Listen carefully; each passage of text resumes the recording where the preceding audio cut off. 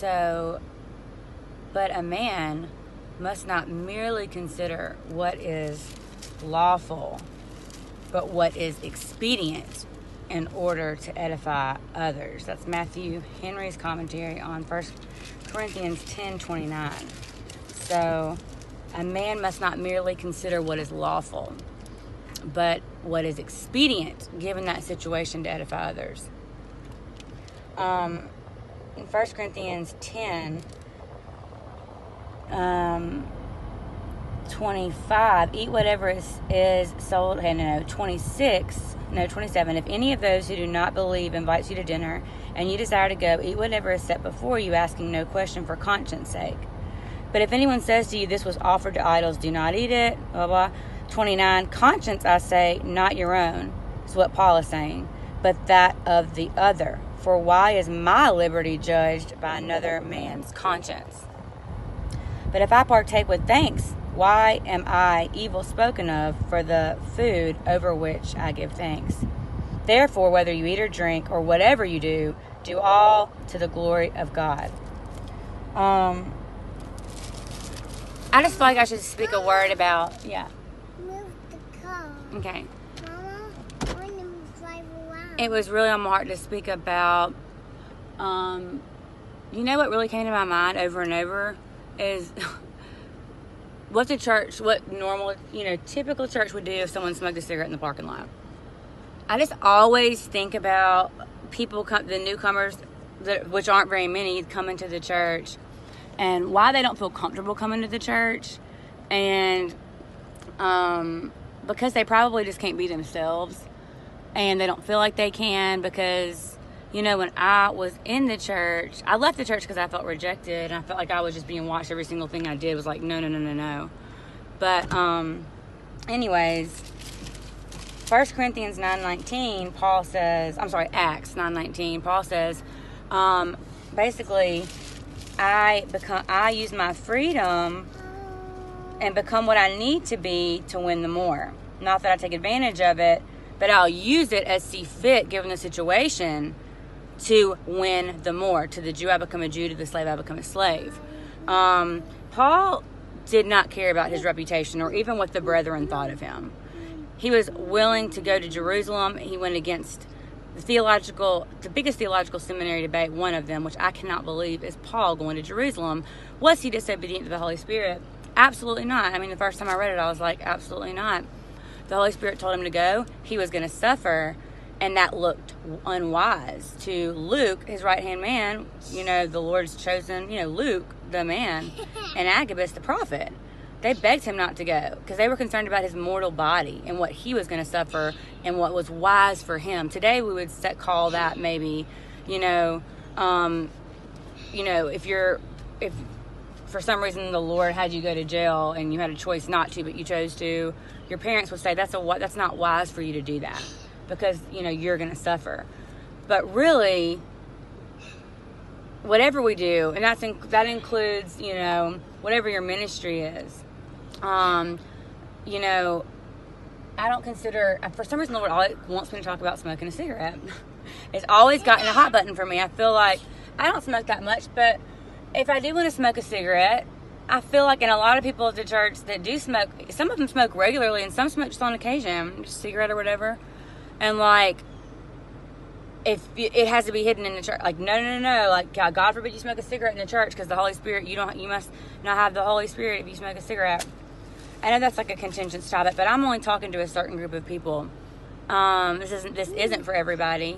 Um, i believe there's people that are called to make um, to a ministry that isn't um, that goes out to get the other sheepfold and you know um, the Lord Jesus says, I have sheep that are not of this fold. They must come. You know, somebody's got to go get them. There's got to be vessels. There's got to be um, those type of harvesters that are going to go into those fields. And the Lord is so creative that He is He uses like Paul was a Jew. He had a heart for the Jews and um, you know they denied Christ, and he had a heart for them because he used to be one. So of course God used his heart and those those those things to go. He just could not help himself from going to the Jews. So there was purpose in that. And um, I just think it's so funny when I get to, when I tell the Lord specifically took me into bartending out of corporate America because that's where He wanted my ministry. He wanted me to be there um, and to waitressing, bartending. What? you have to go fast. I'm going. And I would get, you know, from any well, the churches I was going to, like, I, I mean, I've went to several between now and then, but I always get that question: Well, are you going to be tempted? Oh, I just want to get. I just want to like nothing irks me more. Like, if you, I'm so past that. Like, if that is the first thing you think of is yourself, and if you're going to be tempted, you can't even like. That's the last thing on my mind. Like, I, I'm thinking about, you know, what the Lord's going to do and praying for this place every day that I go there and the hearts that are there and the vessel that I'm called to be to minister the Lord Jesus Christ, who is the only Lord. There is no other, as the Bible says. And what he, whatever he wants me to say, whether that is to bring someone to Christ or, which I feel like a lot is in my case, is to those that have been that have been saved but have been rejected by the church and have left and um, the lord wants you know he's gonna go out and find them. And um, that was me. I'm one of those like that happened to me. The lord came and found me where i was at after i had left the church and he redeemed me all in one moment and told me you know just supernaturally ripped the veil from my eyes and um, basically said the holy spirit will teach you. You don't need you know you don't need man to teach you. You don't have to go to seminary. You're going to be a voice for me. And i feel like there's a lot of you out there that are planted in places that people look down on especially the Go with the shoe. especially we don't have shoes on. We can't go into church outside. We'll come back. Um but i want to give an example in the legends of the guardian. There's a owl named grimble and he is working for the pure ones. The pure ones of the evil owl clan. The guardians of the good owl clan. He has been he is a legendary warrior fighter owl. He is actually for the guardians but he has been captured um, and he is literally he sacrificed his life to stay. He could fly away but he sacrificed his life to stay and work for the pure ones undercover. Everyone thinks he's bad. He's working with the bad guys his whole life because he has a calling to um because he knows there's, there's a calling that one day he's going to be um be used as a part to redeem the guardians. And lo and behold the two owls get captured. They get taken to grimble you know the head of the pure ones the evil woman and man, man take the little the the um the little owls to get trained to fly by grimble. You know they think of course he's evil he's never broke cover. And lo and behold grimble is actually a, a, the guardian. He is you know sacrificed his life in captivity and undercover. So whenever they come he teaches them how to fly. They're shocked that he's for the guardians. Mama, and they get away and save the whole all the guardians get saved because of the sacrifice that grimble made. Yeah. I want my tractor. Okay, we'll go get it. Um, um, so that's very important, and Paul displays this so much, of course, and Jesus is the ultimate sacrifice. But I'm speaking to the people that I'm speaking to the ones that hear what I'm saying.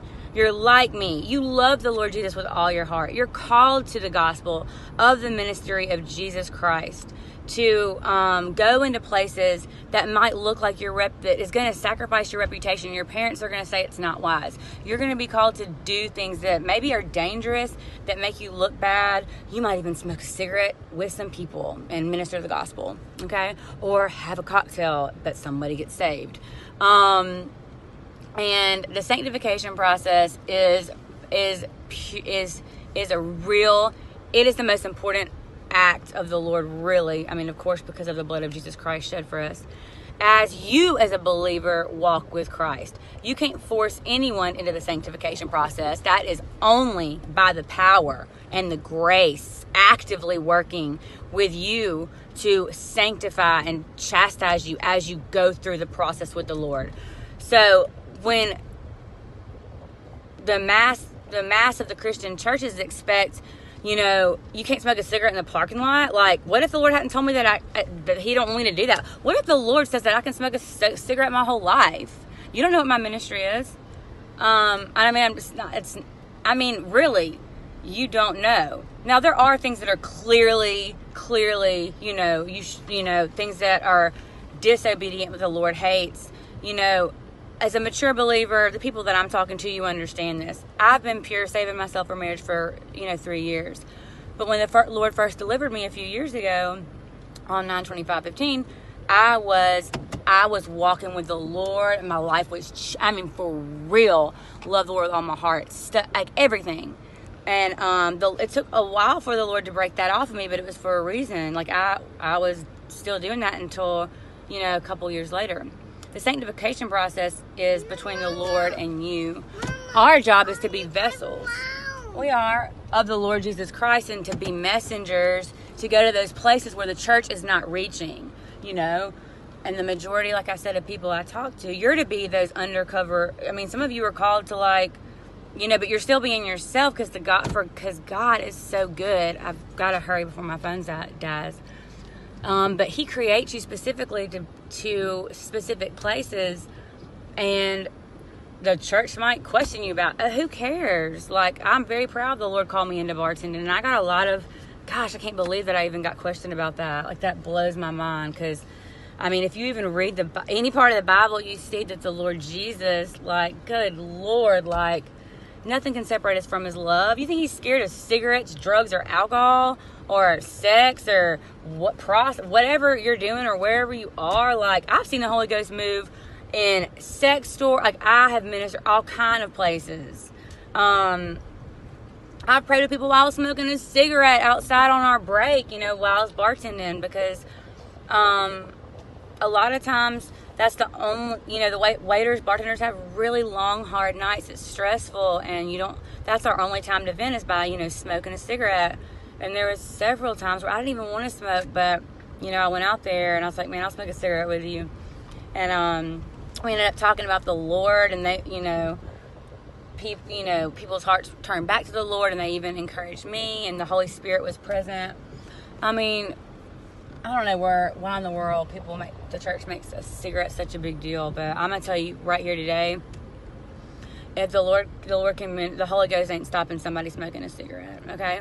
Um, the Holy Ghost power can go through anywhere. He uses the why the foolish things in 1 Corinthians 1 27 through 29. He uses the why the foolish things to confound the wise, the despised things. The Lord says, I use the despised things to um to to confound the wise and to for his glory.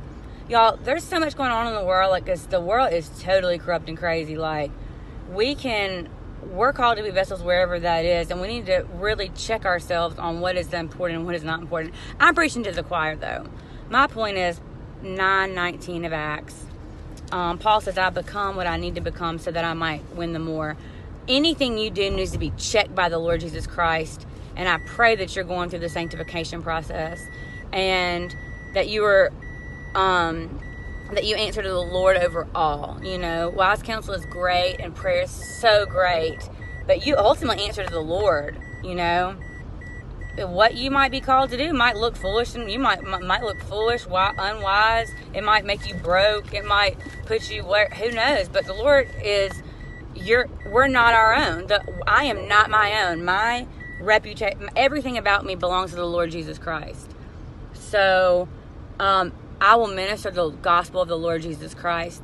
And like I said, none of us on this earth are perfect. None of us. In the sanctification process, there is a process you the Lord will take you through, but like the book of James says, you know, faith and your works as far as faith without works is dead. That is not salvation. That is there is a process of sanctification. When you step with the Lord, He steps with you, and there's levels to this thing.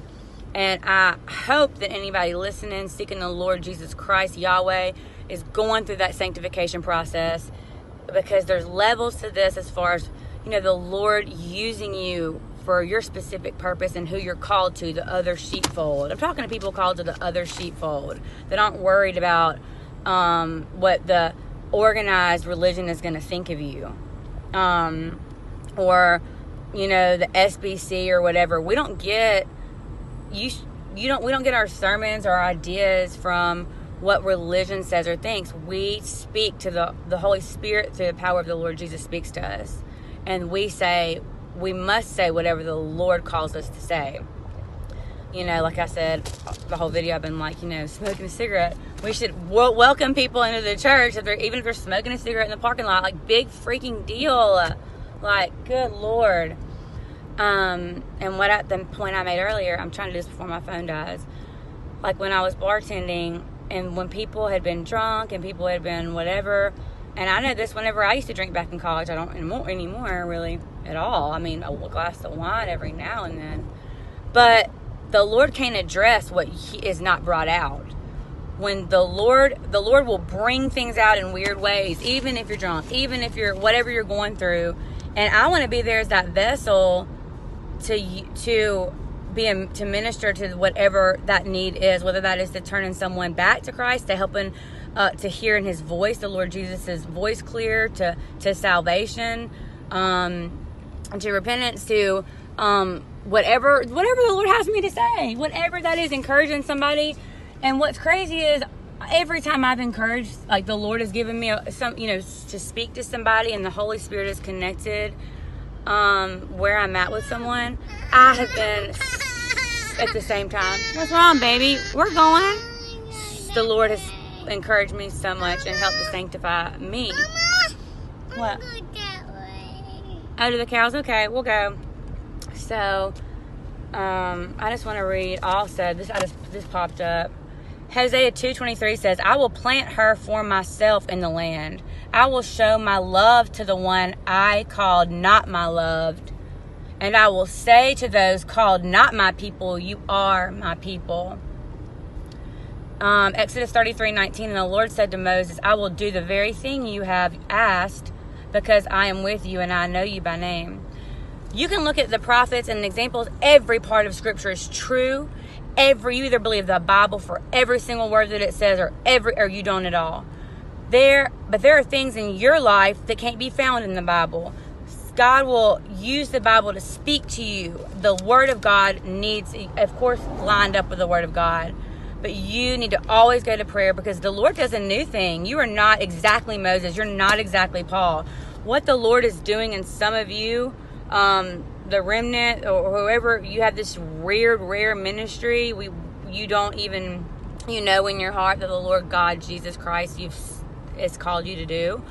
Um, it doesn't look like anything else you've seen. Maybe bits and pieces here and there but you you haven't fully seen it because it's it's the lord is doing a new thing. So i just pray in the name of jesus christ that this video by the power of yahweh reaches those who it needs needs to reach and um, that I am, you know, my words aren't perfect. I say things and watch back, and I'm like, man, I, that looks. I should have said that better. I should have not said that. You know, I don't want to look like a hoodlum. But like I said, I I might not always be perfect with my words. Like Paul says, I did. I didn't come in excellence of speech. I'm really, really not that good with it. But I love the Lord Jesus Christ with all my heart. I, Yahweh. He is the, the Lord of my life, and um, He speaks and he's so close to us and i just in so many ways he speaks. He speaks and and and with he when, even when he doesn't speak he speaks. And my life is dedicated as a vessel for him and his glory. So um, i never want to lead anyone astray or say the wrong thing. Just just go to the lord with everything he calls us to be holy but let the lord tell you what you should do and what you shouldn't do um, the Lord God is who you answer to. That's who you answer to. The Lord Jesus Christ, God, the Holy Spirit, the Trinity. You answer to the Lord Jesus. He will tell you, will speak to you. So seek Him on whatever strange thing He's called you to do. Because it, He will just, the Lord, it's, mm, there's no better, there's nothing better in the whole world than talking about the Lord and let just being in His presence, abiding in Him all. Eh, I mean, just all day, just all the time, just thinking about the Lord. the Lord is is good, and um, that's it.